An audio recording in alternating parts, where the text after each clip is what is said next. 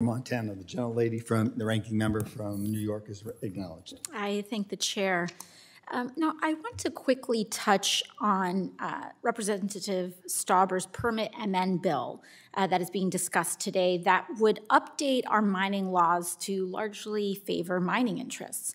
My colleagues on the other side of the aisle have suggested here and in other forums that environmental review is a key bottleneck in developing critical resources and that reforms to the National Environmental Policy Act are necessary, that it creates all of these headaches and there's all these issues in NEPA, um, and we need to really streamline it and um, reopen it for, for editing and review. Um, Mr. Nolan, you are the CEO of the National Mining Association.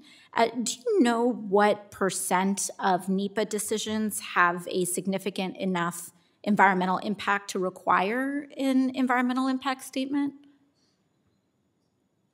Uh, I don't have that, but I'm happy to get to the committee. I'm sure you may have it in front of you. I, I would say, though, that just about every EIS for a modern mining project is challenged in court mm -hmm. after the decision is made.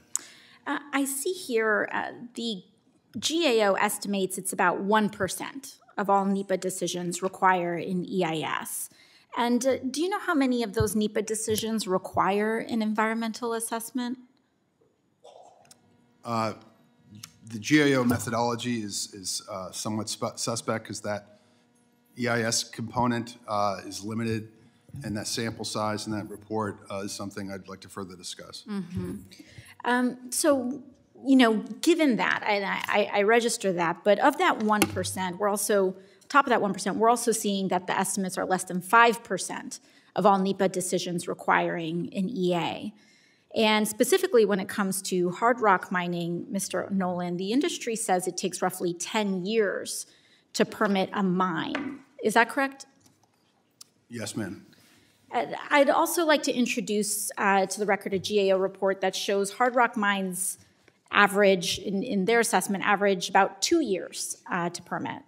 And so when we talk about permitting reform, uh, which in the case of this bill guts a lot of environmental review, what we really, I think, should be focusing on is the more than the $1 billion in the Inflation Reduction Act uh, to increase federal agency capacity for those environmental reviews, which you know, I think would actually speed up time. But I want to turn now to questions around royalties for hard rock mines.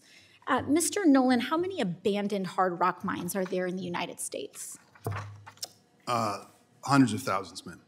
Yes, and um, according to another report, we're looking at over more than 400,000 abandoned hard rock mines in this country. Uh, also, according to that same study, cleaning up these abandoned mines costs billions upon billions of dollars. These abandoned hard rock mines currently have no source of funds for cleanup at all. And that means that the communities nearby these abandoned mines are left with the burden the burden of toxic waste and pollution, and the burden of paying for that cleanup themselves if it ever even does get cleaned up. And those communities are very often indigenous, low income, or already over, overburdened.